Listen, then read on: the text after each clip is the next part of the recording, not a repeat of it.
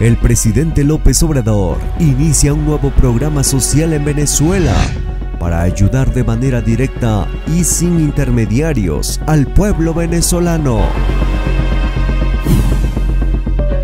El gobierno del presidente López Obrador firmó un convenio con Venezuela, país gobernado por Nicolás Maduro, para que a cada migrante regresado a su país de origen se le entregue un apoyo similar a un programa social. En estos días, la secretaria de Relaciones Exteriores, Alicia Bárcena, afirmó que México no puede con esas cantidades de migrantes de origen venezolano que están llegando a México, por lo que se crió el programa Vuelta a la Patria. En la conferencia de prensa, la secretaria de Relaciones Exteriores informó, acaban de firmar un convenio con Venezuela con el presidente Nicolás Maduro que se llama Vuelta a la Patria, donde están mandando venezolanos de vuelta a su país porque realmente no se puede con estas cantidades de migrantes venezolanos que están llegando a México. Pero el presidente López Obrador ha instruido que cada migrante que regrese a Venezuela tenga un apoyo como el que se da aquí en México de jóvenes construyendo el futuro y sembrando vida.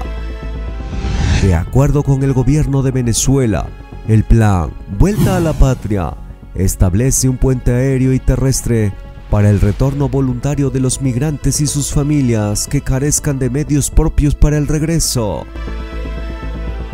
La secretaria de Relaciones Exteriores de México expuso que los migrantes venezolanos se les entregue una tarjeta con la que se incorporan a un programa automáticamente, depositándoles una ayuda económica de 110 dólares mensuales y esto será por un lapso de tiempo de seis meses, mientras se acomodan en empresas venezolanas y ahí aplicar el programa Jóvenes Construyendo el Futuro.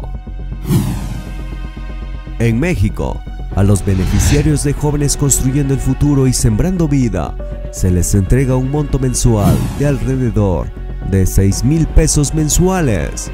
La canciller explicó que México también ha suscrito convenios con algunas empresas ubicadas en Venezuela para que se les dé empleo. La secretaria agregó que este tipo de programas para migrantes está siendo contempladas para ser implementadas con otros países de América Latina. Actualmente, el gobierno de México está solventando todos estos gastos y entregando las ayudas económicas a los hermanos venezolanos. Además informaron que lo mismo están haciendo en retorno a Guatemala, Honduras, Colombia y Ecuador para poder retornarlos a su país con la ayuda monetaria de estos programas sociales, fue lo que destacó la secretaria de Relaciones Exteriores. A pesar de que el programa Vuelta a la Patria busca retornar a venezolanos con apoyos económicos. De acuerdo con la Comisión Mexicana de Ayuda a Refugiados, los migrantes de ese país no son los que más asilo han pedido. Las peticiones las encabezan los países de Honduras, Cuba, Haití, El Salvador, Guatemala y Venezuela. Para los migrantes que se van quedando en México, también hay planes darles empleos y así puedan vivir en México si ellos así lo deciden o regresar a su patria. Nunca se veía este tipo de apoyo hecho por México a estos países que están en crisis. El presidente López Obrador sigue trabajando en proyectos para frenar la migración que se da en América Latina. Y es ahí donde México le está invirtiendo mucho dinero implementando este tipo de programas sociales en los países hermanos. Le invitamos a que nos dejen sus comentarios sobre la ayuda que envía el presidente López Obrador a estos países hermanos.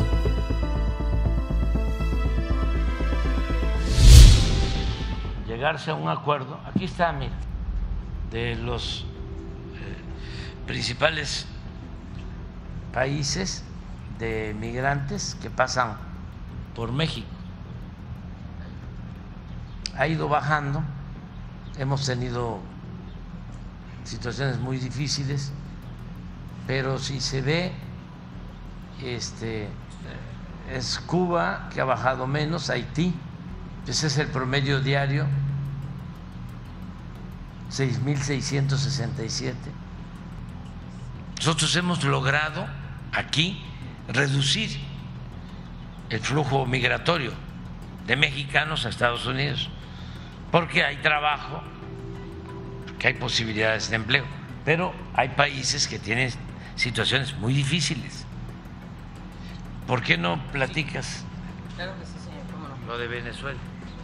Es muy importante, acabamos de firmar un convenio con Venezuela, con, con el presidente Nicolás Maduro, que se llama Vuelta a la Patria.